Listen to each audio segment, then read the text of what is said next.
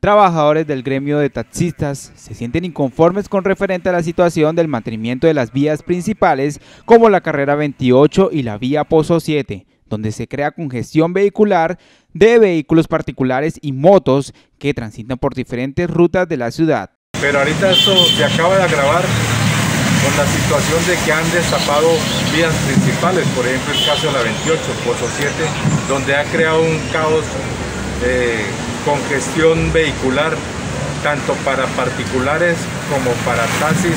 y servicio público, siendo los más afectados porque nos toca hacer una inversión en gasolina y de pronto esto la quemamos esperando una y dos horas para poder pasar. Se espera que las autoridades viales puedan realizar controles en las diferentes vías e intersecciones para así garantizar una mejor movilidad en el puerto petrolero.